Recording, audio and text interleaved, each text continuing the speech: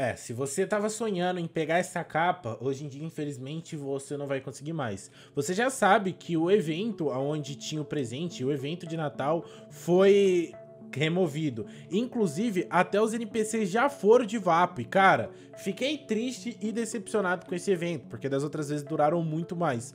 Mas fazer o quê? Agora, se eu quiser gastar os quentes que eu tenho, só ano que vem. Mas nem só de mal notícias vive o homem, né? A gente sabe que junto com a remoção desse evento, veio também o trailer de vazamento das próximas raças Awakening. Só que foi um vídeo meio que deixou muita gente curioso e tentando entender o que realmente vai acontecer. E por isso, cavando e buscando informações sobre essas novas raças, eu encontrei vazamentos oficiais de como realmente as raças vão acontecer. Então agora eu vou mostrar para vocês exatamente como serão as raças V4. E pra gente também ter uma opinião de fora, eu chamei o meu amigo Nicolas pra gente estar tá falando um pouco sobre as raças V4. E esse aqui basicamente é o Twitter do Hip Indra, o administrador do Blocks Fruits. Acho que a gente pode dizer que ele é o dono, Nicolas? É. É, a gente pode basicamente falar que ele é o dono e eu vou traduzir aqui agora para vocês poderem entender melhor. Enfim, aqui é o primeiro tweet que a gente vê, ó. Cada despertar recebeu um título adequado com base em suas habilidades. Você pode adivinhar como elas funcionam. Humano seria Berserker, Mink, Thunderbolt, Shark seria Leviathan, Angel, Sua Majestade, Gol seria Nightwalker e Cyborg Genesis. Você consegue. Você chegou a ver o clipe? Eu vi, mas eu vi pouca coisa. Eu vi mais pela sua análise. Você viu mais pelo que eu tinha falado, então. Aham. Uhum. Então, pelo que dá para entender, o Berserk, tipo, no caso, o humano, Berserk, quando a gente pesquisa, se eu não me engano, o Berserk é tipo um cara que tanca as coisas, não sei se é isso. E dando uma pesquisa, o Nicolas falou para mim que Berserk significa furioso em inglês. Na verdade, é, se você pesquisa Ber Berserker, é, foram guerreiros nórdicos ferozes que estão relacionados a um, negócio, um culto de Odin.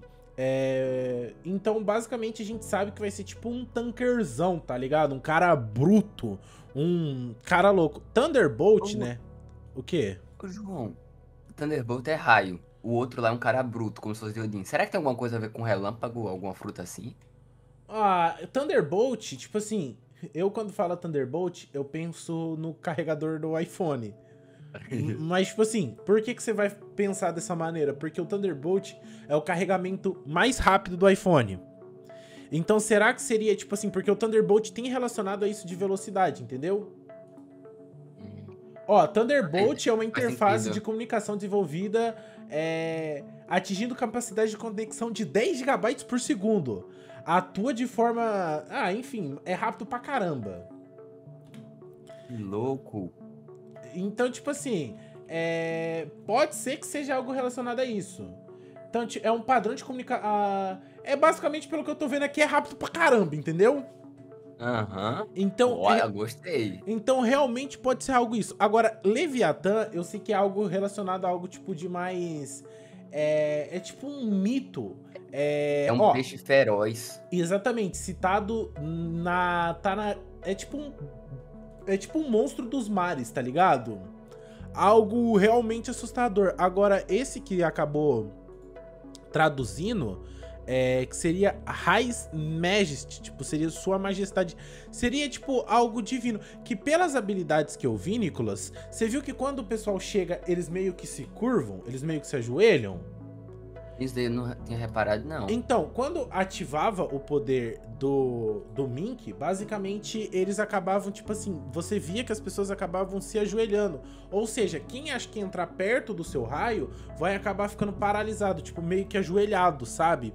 E o, o Gol, o Gol seria Nightwalker, que é aquele negócio que quando você anda, deu pra ver isso no, no trailer, né?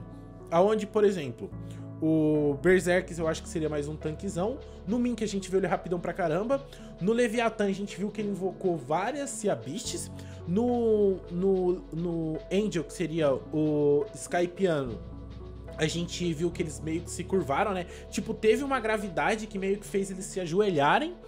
O Gol fez aquela aura em volta que deixava todo mundo cego, então, tipo, por isso Nightwalker seria tipo caminhante da noite, então, por onde ele caminhasse, deixaria tudo à noite. E o Cyborg seria o Gênesis. O Gênesis é uma palavra que me lembra lá do do Resident Evil, já viu? Não, Resident Evil. É, no, no Resident Evil existiu o Gênesis. O Gênesis era tipo assim, um zumbi modificado, tipo, forte pra caramba, tá ligado? Tô tentando Só... achar aqui. Ah, não, não é Gênesis, é Nemesis. Ah. Então, ah, tipo... mas eu tô vendo aqui. Então, tipo assim, não sei se é, significa isso, mas, né, é alguma coisa. Além disso, ele também postou várias coisas, tipo, é, meio que deixando, é, tipo assim, pro pessoal meio que realmente entender é, como que estão as coisas. Então, por exemplo, ele colocou aqui: as raças Awake serão transformações temporárias, né? Porque, tipo assim, acabou que surgiu muitas dúvidas sobre as raças. Então, tipo assim, o pessoal ficou tipo, meu, porque não sei se você deu a entender que as raças pareciam, tipo assim, ia, ia tipo, igual o estilo de luta. Tu ia clicar na raça e, e daí tu ia ganhar as habilidades, tá ligado?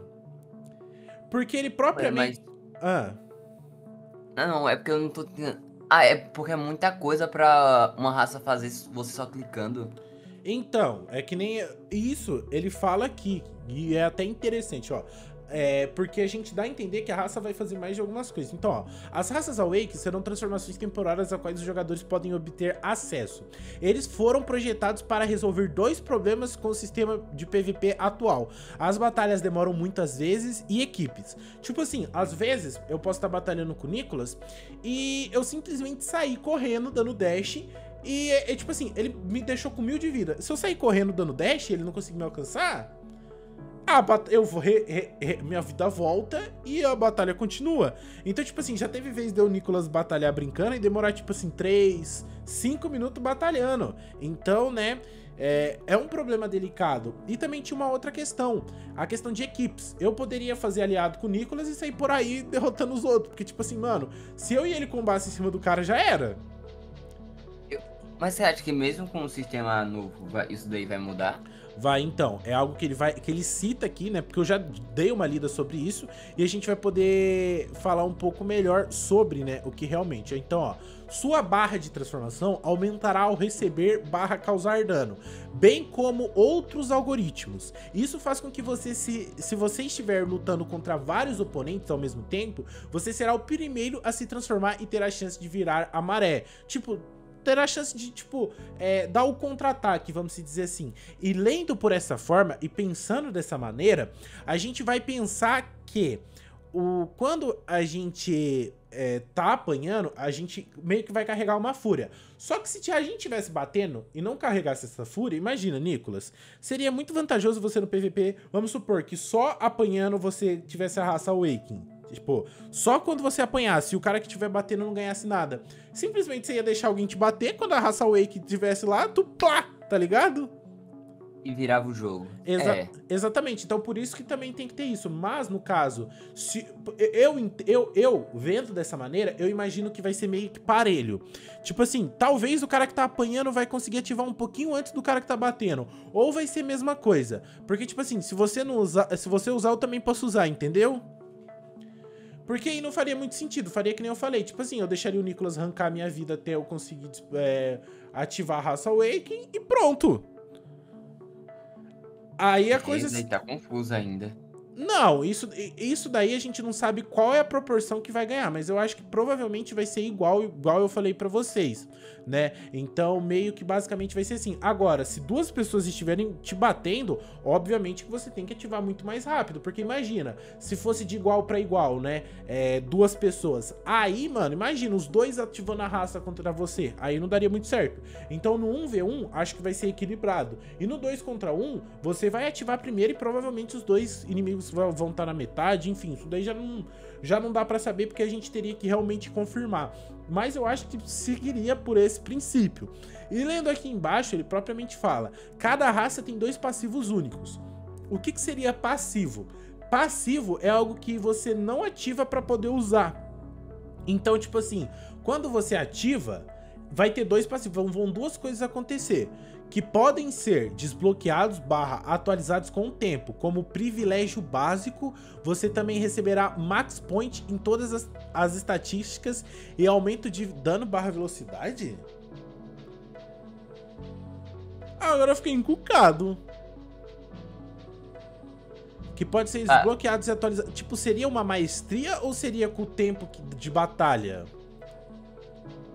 Mas é, no caso, se for com tempo de batalha, toda vez que acabar, ele reseta, né?